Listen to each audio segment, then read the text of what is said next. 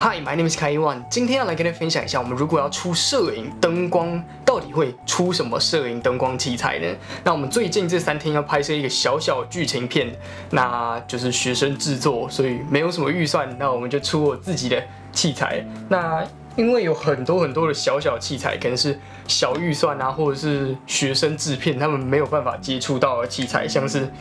一些小小的家具，他们根本不知道这些到底是什么东西。我拿出来，他们可能都第一次看到这些奇怪的工具，所以我今天就要来跟大家分享一下，我们到底会带什么灯光器材跟周边。那么主要的灯就是那个 Aperture 三百 D 的部分，那我有两盏，一盏已经在外面了，所以就这里还剩一盏。那下面六百 D 我就没有想要带，因为其实学生制片六百 D 根本就是一个。Overkill，所以它就会保留在我的房间里面。接着，这是我们的小小的工具箱，那里面有各种不同的小小配件。那箱子上面就有一些名片啊，然后这里有一个相机，下面的小小四分之一螺牙，就如果有。不小心消失的话，我们就可以马上去支援。因为我平常也是摄影嘛，所以这个东西有的时候可能会消失，或者是掉到地上，或者是发生什么事，就备用一个在这里。那我们这里面还有很多很多的束带，有一个读卡机，然后有一些镜头擦拭纸，像是摄影组的也，我们也可以去支援他，因为有的时候就是不小心，他身边就是没有擦拭纸，或者是。因为他们器材都是外面租的啊，外面租的器材公司也不会给他们试镜布啊，或者是试镜纸，就是你要自己花钱去买就对了。所以我们如果有试镜纸的话，就可以马上去支援，说，哎，他镜片忽然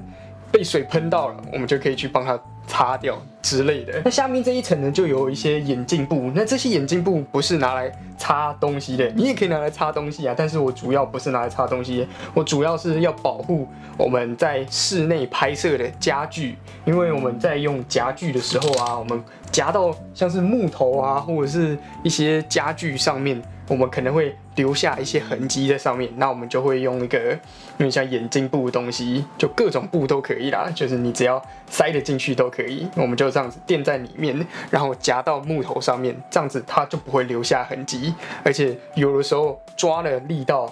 就是抓的稳定程度还会增加，就还蛮好用的。就是放几块眼镜布在。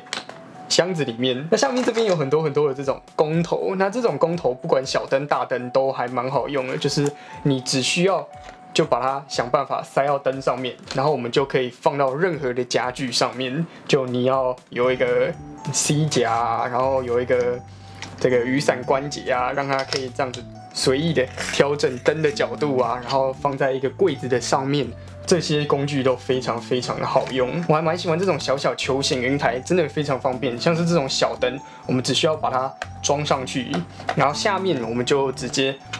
拿一个工头，然后我们再拿一个支架，呃，C 夹，或者是你想要有任何夹具，像是有 Card Lini 之类的。那你就可以直接把它插上去，然后夹到一个地方，你就可以让灯固定在一个柜子上面啊，或者是一个小小柱子棒状的东西上面，真的好用。那里面还有一些 USB 线啊，像是 Micro USB 跟 Type C 的部分，然后还有一大盒的电池，四颗电池，这有的时候还蛮好用啦。像是收音组的部分，它可能它的收音机忽然没电了，然后有。莫名其妙，为什么没有准备电池，或者是莫名其妙他们准备的电池也都没电呢？然后他们就冲去买，那我们就可以直接有备用电池，可以给他们说撑一下，然后他们去买，就不用浪费时间等他们买电池之类的，就备用一下。那接着我们就来讲一下我们下面的这些东西，那就是有我们刚刚讲的 C 夹，然后还有我们的蟹形夹。这个蟹形夹其实跟我们的 C 夹。其实功能是一模一样，只是有的时候可能我们只是要夹在一个小小的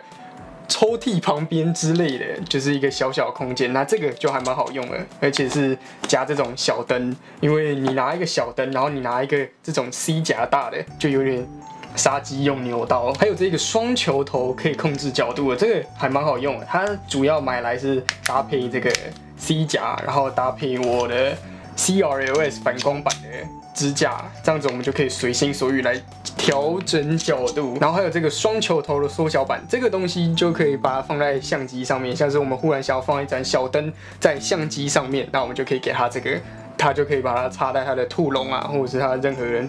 那个 rig 支架上面，然后我们就可以把小灯塞到上面，或者是他们需要。用荧幕，但荧幕通常都已经有支架了，就不需要这个。这个就是备用，看看有没有机会要把东西塞到相机上面。然后这边还有更多更多的 C 夹，还有我们刚刚讲的雨伞关节。雨伞关节我觉得也蛮好用，只是它两边都需要再塞公头，就是你公头要准备够多，不然你就没有得塞。然后这是我们刚刚有提到的那个 CRLS 反光板，这个真的是非常好用，只是非常非常的贵，所以。把它特别留在一层，因为它其实前面这一片是会破掉的，就是它有安全考量。如果有人撞到反光板，它会直接断掉，所以要特别细心保护。我就直接给它一个隔层这样子。那这边都是电池的部分，像是有行动电源啊，然后行动电源、行动电源、NPF 电池一大堆，然后还有我们的小灯的部分，像是我们的口袋灯啊，还有更多的口袋灯啊，都在这边。然后这是一个小小的 WiFi 小图传，那我想要。试试看，说我们有没有办法，荧幕输出的地方，然后接这个图传，然后我就可以看到我到底在打什么光。因为如果没有这个图传的话，他们也不会给我们一组图传，所以灯光组就是你看一下荧幕，然后去指引别人说，哎，灯要怎么打。但是通常人力不足，所以你自己也要下去打。但是打一打，你就要再跑回荧幕旁边，你才知道你打的怎么样。但是通常荧幕旁边就是。超多人，你根本看不到画面，所以呢，我想要就是想办法，因为比较好的荧幕都有 HDMI in，然后 HDMI out，那我想要接 HDMI out，接到这个图传，我就可以用手机自己看到底发生了什么状况，我灯打的怎么样，才不会我什么都还没有看到，然后他们就已经开开拍，然后 action 了。这里有一个小小的 Aperture Side Link Bridge，就是你可以延长你的。蓝牙讯号距离，你就可以在更远、更宽广的地方，然后控制你的 aperture 的灯具。然后一个大力夹，就是准备，我也不知道要夹什么东西，就你就塞到里面去。然后这边就是各种电池、充电器跟变压器之类的。那箱子前方还有一些空间，我就放一些黑铝箔，就是我们可以来更准确的控制光线用。那接着这是我们的超大摄影反光板，它是 Sunbound Big，差不多是两百五十公分乘两百公分，反正就。就是超大，你可以把它当做控光幕来使用，只是是反射的方式。我还没有真的把它拿出去使用过，因为才刚新买，所以我们就拿出去玩玩看这样子。那这个就是我们的小小的 Try A 双色温的平板灯。那平板灯其实还蛮好用的，而且这个 Try A 它的指向性还蛮强的。它官方是写二十五公二十五度，所以二十五度其实。非常非常窄，所以你可以把它照射非常非常远，还蛮神奇的平板灯。然后这里还有一组 CRLS 反光板系统，它就可以让你的光质改变，很神奇的反光板。那这里还有一个小小的反光板组，它是五合一的反光板，所以你如果忽然需要一个黑色的，你要 negative field，那你就可以直接把它伸出来。那你忽然需要一个补光，那你也可以把它忽然伸出来，反正就是一个。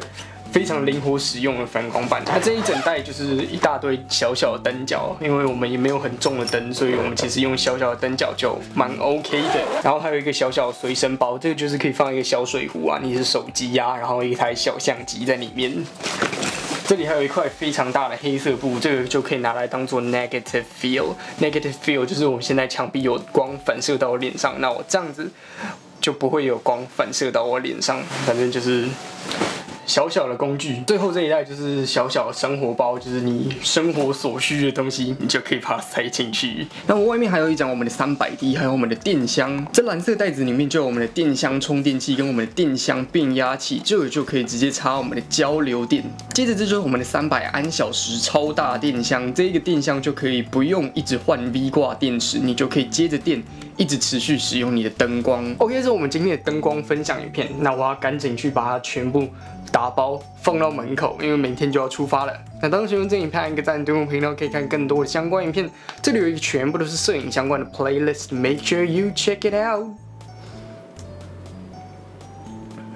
My name is Kaiwan，now see you guys next time. Bye bye.